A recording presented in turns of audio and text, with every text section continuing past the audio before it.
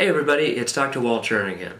And as I've explained with you before, I can't be in class today, but I have made this lecture and lesson available on YouTube. You need to watch these and take notes. We'll go over it again very quickly the next time I'm back in class. But this is PS 113 Introduction to Psychology, Chapter 6 Memory. And one thing I want to start out with is it's important to remember that memory is not like a camera. Memory does not record reality objectively, it is subjective.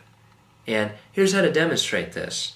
Have you ever gone back to your elementary school? Maybe return to your hometown after moving away. You go up to the house that you first remember as a child. Does the house seem a lot smaller to you now? Well, it didn't shrink, did it? It was always this small, but your memory was subjective. As a small child, in relative terms, everything was bigger. Now that you have grown and are taller, everything is really in its proper perspective. Memory is not like a camera. Our next slide, with the number three, memory consists of three processes encoding, storage, and retrieval. I'm going to go over each one of these with some examples and pictures. But before that, consider this. Everything, everything we've gone over in the course has led us up to this point. What we see here, taste, touch, and smell, starts out as sensation, goes up into the brain where it is perceived, and then maybe some learning takes place from chapter 5. Things that we want to go into memory bring us up to this point where we are now. Memory consists of three processes encoding, storage, and retrieval. Here's the first process encoding, and we define it as transforming information into a form to be stored. Now, let me use a computer as an example. You can encode information into your computer in different ways, can't you? The most common, of course, would be typing on the keyboard. But you can also encode information from downloading files. You can scan pictures and encode that data. You can even use voice recognition software that encodes your voice into a form that the computer can use. Athletes may encode experiences by feel. Chefs, however, make encode information from smell. You can encode information into the brain in many different ways. This is transforming information into a form to be stored. The next memory process is storage. Storage is how we maintain information in memory. Now, with this picture, in the old days, with a lot of paper documents, we used file cabinets. And in big organizations, there might have been enough file cabinets to fill one entire floor of a large building. But nowadays, think in terms of your hard drive or flash drive. Storage is maintaining information into memory. How much potential storage is there in the brain? Probably the sky is the limit.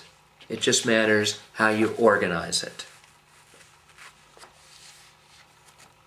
The third process of memory I want to mention is retrieval.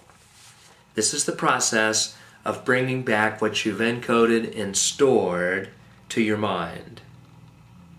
If you can't do retrieval, the information, well, it might as well not even be up there in the first place.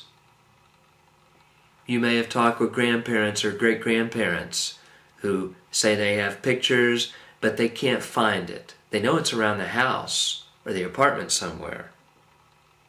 They have it encoded and stored, but they cannot retrieve it. Think of retrieval this way you might have a bunch of keys on a keychain. Now, not all those keys unlock all the locks, do they? You just have one key per lock. But if you can't find that key, well, that's a problem, isn't it? We define retrieval as bringing stored material back to mind.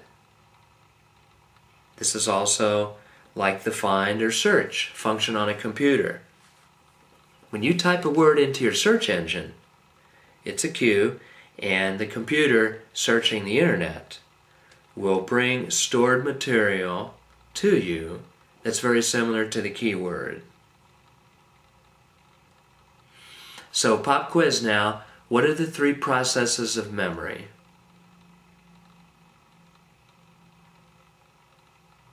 By the way, if you fail a test, you could joke with your professor and say, Professor, I learned the information. I had it properly encoded and stored, but what we had here was a failure of retrieval cues. I can tell you that I tried that as a student and it didn't work. And it wouldn't work with me as your professor now. But it is a consideration. A lot of times we are tested and you have trouble bringing information to mind. You know you learned it.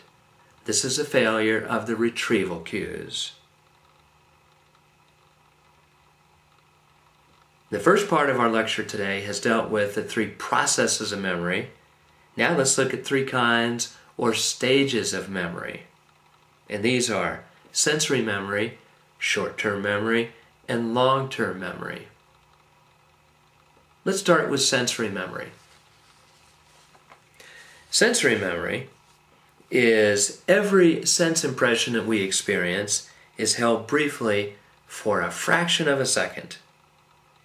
You can do this by looking at something in good lighting. Look at it, close your eyes rapidly, and you will see a trace. That is the sensory memory. That is the sense impression that was held briefly for a split second.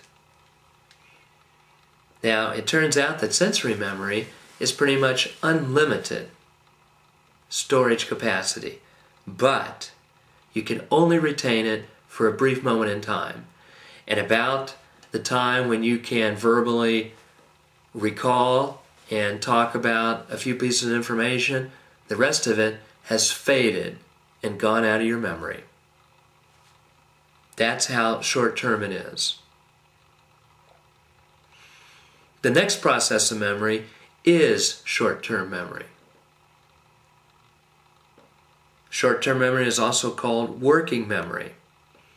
Now, the stuff you experience in sensory memory, if you attend to some of this, it will go into short term memory. Now, the good news for short term memory is that the duration is much longer than sensory memory. The duration actually may be 20 30 seconds. So that's good. The problem here is that the storage capacity is very limited it is much smaller. In fact, the significance of the number 7 is that the average length to retain new information bits is 7 plus or minus 2. This is one of the most famous phrases in all of psychology 7 plus or minus 2. That means a range of 5 to 9 for most of us. And by the way, it's no coincidence that phone numbers, internet addresses and zip codes are about that length so that we can keep it in short term memory.